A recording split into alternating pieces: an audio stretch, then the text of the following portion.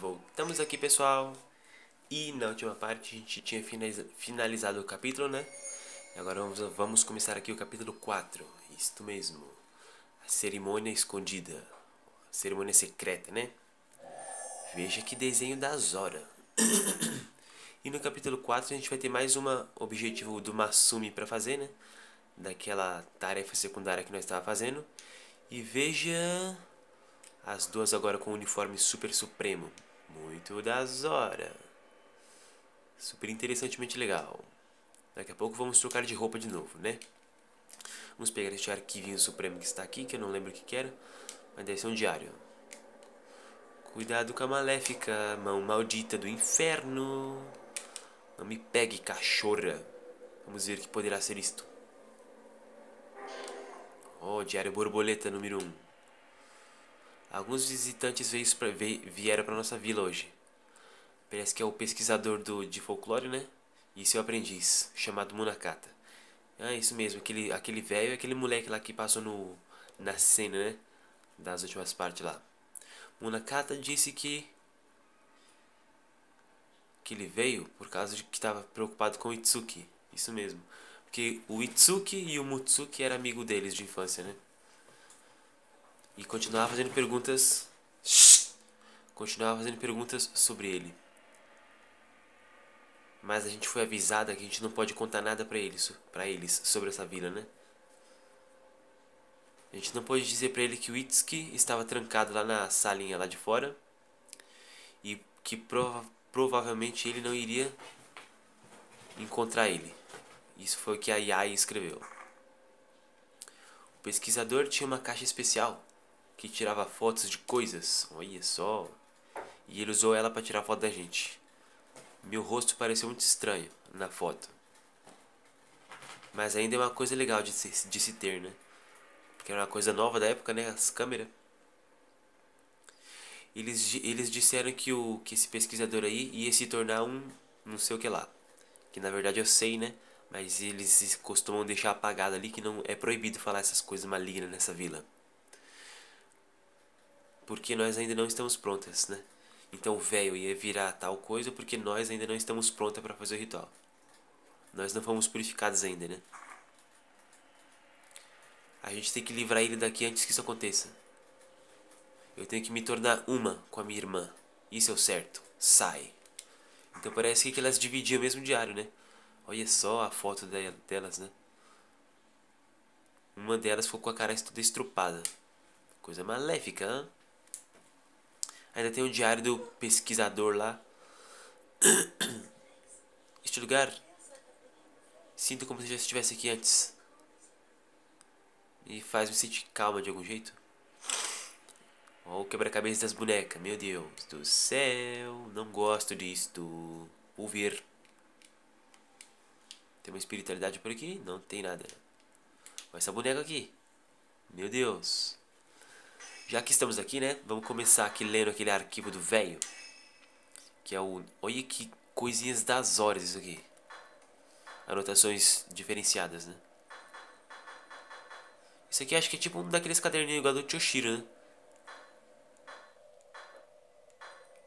A câmera obscura. É, aqui fala sobre os personagens e as coisas, né? Dessa vila.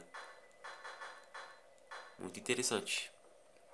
Vamos ver aqui o caderno aquele velho lá, que foi um dos primeiros cadernos que nós pegou, né? Que a gente não leu, então vamos ler pra ficar tudo, tudo certinho, né? Aí a gente vai ter lido todos os arquivos.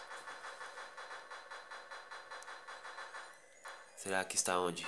Manuscritos. Será que está aqui? Ah, esse aqui, ó. A gente pegou logo no começo. Meu Deus do céu, pra que escrever tanto, velho? O padre mais forte de todos da família Kurosawa é, deu boas-vindas a gente nessa para essa vila de braços abertos, né? A vila parece que não tem um prefeito, um, um prefeito, acho que é isso. É. Então parece que o senhor Kurosawa, em sua posição de padre mais alto, né, ficou responsável por governar ela. Parece que tinha outro indicador nessa vila hoje, originalmente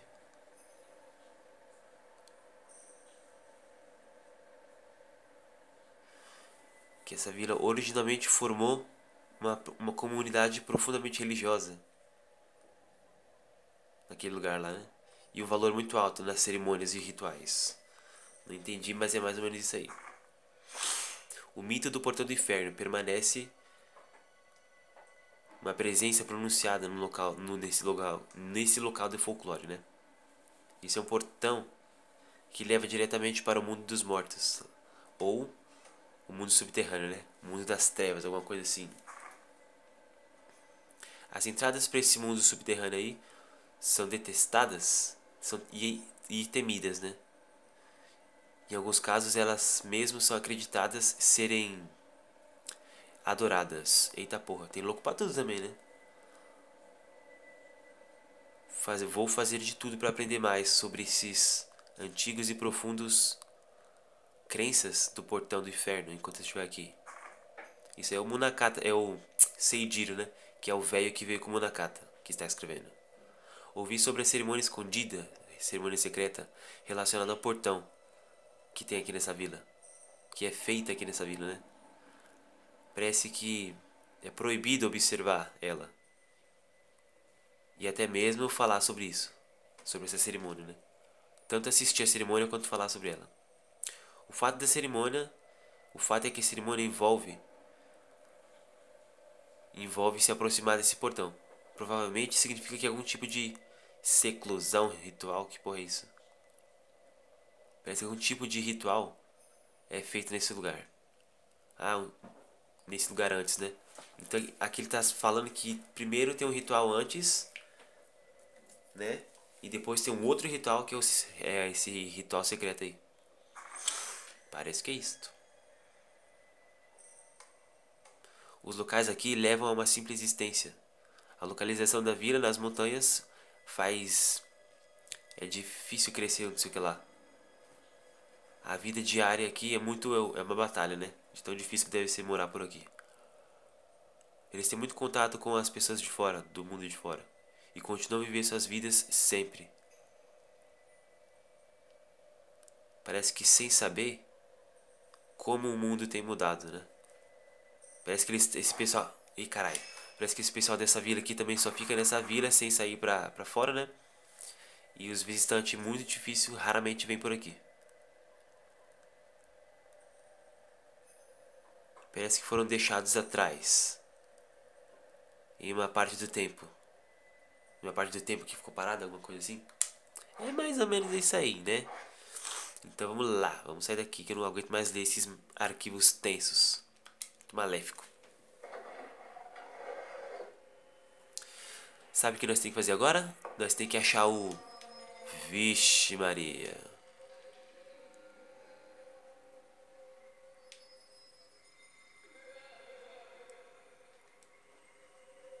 A velha. A velha do chão, desgraçadamente maligna. Olha essa música. Vixe, meu Deus do céu. Pare de gemessão, velha. Ah, não acredito nisso. Tome na cabeça. Entrou na parede. Achei que tinha acabado a pilha. Mas parece que deu um desconectamento. Sinta. Ah, é. Entrou no armário agora. Maio está em choque. Onde estás, velha? Você está vindo daqui? Sofreu. Velha forte da porra. Um barulhinho legal. Está vindo. Gemendo e gritando, chorando. Pareça velha. Ai. Estourou minha pedra espelho com um tapa. Puta que pariu, que velha diabólica.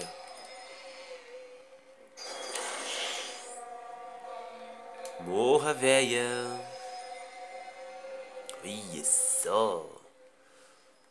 Deixei uma coisa com o fantasma. Cabeças duplas. Cabeças gêmeas. Olá, Maio. Você tá bem? Está em choque ainda? Cachorra. Vou vir isto.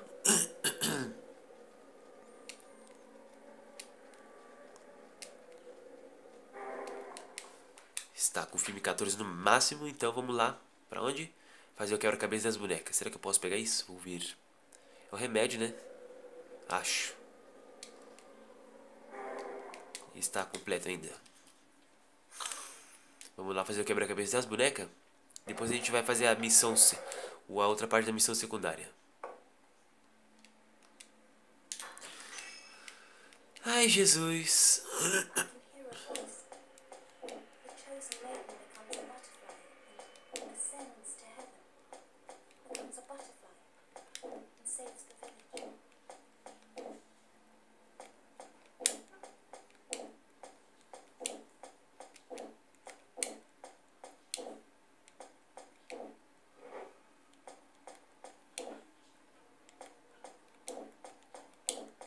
Eita! Não deu tempo, trouxa, se lascou. As duas sacerdotisas foram para o céu, vão para o céu. Quebra a cabeça de bichona esse, hein?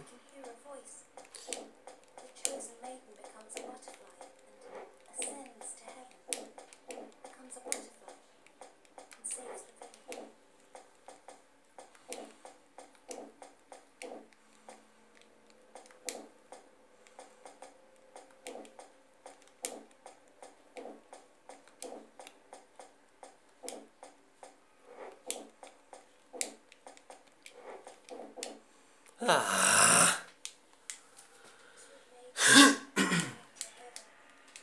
Muito rápido.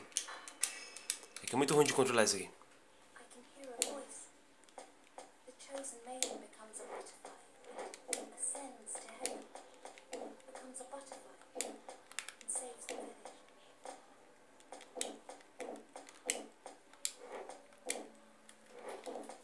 Ô oh, bicha.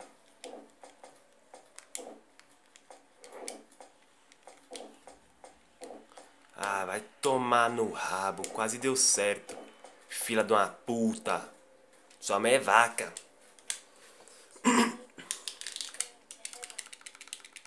Estou ficando putinho. Para de falar merda, menina. O cachorra. Pra que, que a opção fica no não em vez de pulso direto? Fila de uma perebenta.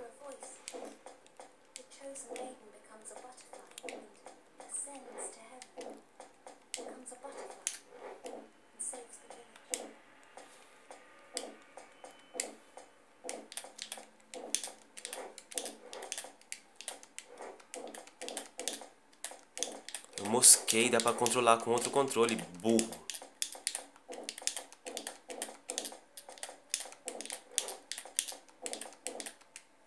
Mosquei na farofa.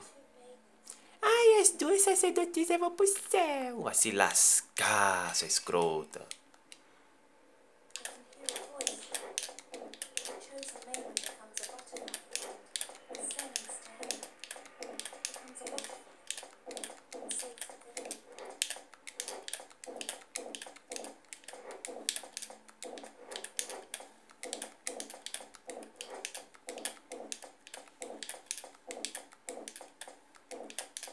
Toma, prostituta, agora sofra. Quebra a cabeça de puta do caralho. Peguei a chave do satanás.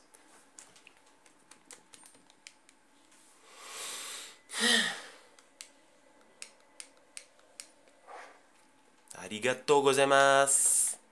Vou embora dessa bosta. O Lamaio cachorro estourando a câmera. Fiquei puto agora. Só de raiva eu vou trocar de... Falei que ia trocar de câmera, quase eu falo. Só de raiva vou trocar de roupa agora. Só vou dar save e vou trocar de roupa. Chega de roupa de uniforme de prostitutinha. Olha o que pode ser isto. Outro arquivo de bicha. Ai, Jesus. As, groxa, as garochas. As garotas gêmeas que vivem nessa casa veio falar comigo hoje e me deram um mapa que indica a localização de uma porta. Uma porta secreta, né? Parece. Disseram que o ritual das trevas estava começando? Estava iminente, que porra é isso? Estava perto. E que eu poderia usar isso para uma porta de escapação. Escapamento, né? Podia escapar para esse lugar aí. De depois de confiarem o mapa em minha mão, elas fugiram antes que eu pudesse perguntar qualquer pergunta. As outras pessoas na casa não pareciam estar agindo estranhamente. Ou talvez toda essa estranheza ao receber a gente tão bem, em um lugar isolado na vila, em primeiro lugar, né? Ou foi. Ah, ele tá se perguntando, né? Que foi estranho os pessoal dessa vila receber eles tão bem assim de braços abertos, né? Dec decidi eu contar o Munakata. Ah, decidi pro Muna, falar pro Munakata pra ele voltar na frente e depois eu ir atrás. Ir na frente para achar um lugar seguro. Uhum, é isto. Muito misterioso, né? Ai! O braço diabólico. Que janelinha grotesca essa. Redondamente maligna. Vejam a velha! Mulher sem braço. Meu Deus, eu nunca vou esquecer quando eu tava jogando a versão do Play 2. Não me deixa aqui, Mio. Eu tô aqui, ô cabeçudo orelhuda. Fica olhando os capeta aí e agora fica com medo. A primeira vez que eu joguei esse jogo no Play 2, quando eu vi essa mulher caindo, eu quase peidei de tanto medo. Tanto susto invadiu minha cabeça, quase que eu choro.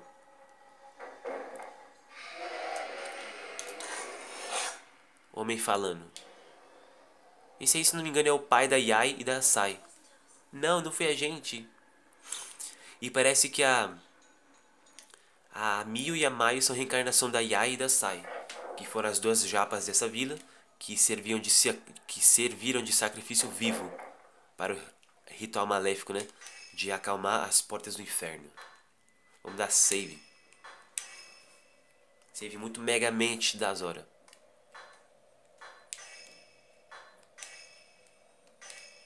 Eu tava controlando o quebra-cabeça pelas setinhas do Nunchuck, né? Sai da minha frente. Em vez de... Quer dizer, do Wii Remote. A chuva está tão fria.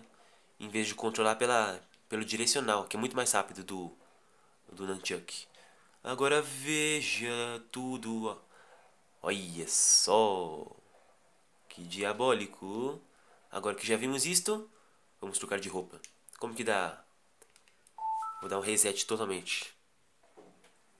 Voltando aqui, estamos utilizando o kimono Super das Olha só.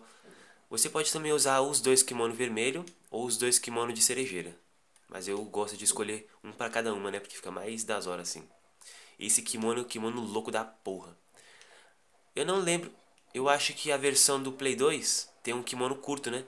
Que em vez de estar uma saia gigantesca assim, tem uma saia muito mini saia. E aí é muito hentai. E nessa vez. Ai, velho. E nessa versão colocaram a versão grande, só comprida, né? Eu acho mais das horas assim. Mais bonito, né? Muito supremo esse kimono. E agora vamos fazer a missãozinha secreta, né? Do Masumi. Tem uma espiritualidade aqui. Onde estás? Uma mulher no jardim. Veja a chuvinha refrescavelmente esfriável. Se tudo der certo, vai estar tá aqui a missão. Outra parte da missão. Vai ter uma cena. Está escorrendo nas trevas. Maio. Espere-me, cachorra. Onde estás tu? Oh! Que porra é isso, tá loucona? Está com barulho maligno. A incorporação maléfica. Possuição satânica. Olá, vaquinha. O que é isto? Não é nada não. Tá louca demais. Vamos, Mio. A gente tem que sair daqui. É, a gente tem que sair daqui, mas se você fica fazendo essas palhaçadas, né? A gente não vai, não vai dar pra gente sair. Agora temos que ali naquele... Eita, viradinha maligna. Não me atrapalhe, Mio. Temos que ir ali naquele armarinho secreto, né? Que a gente investigou daquela outra vez. Para descobrir o segredo supremo. Eu não quero matar mais. Não diga besteiras, menina. Olha. Masumi esbagaçado. Agora olha o item que a gente vai pegar. Olha só.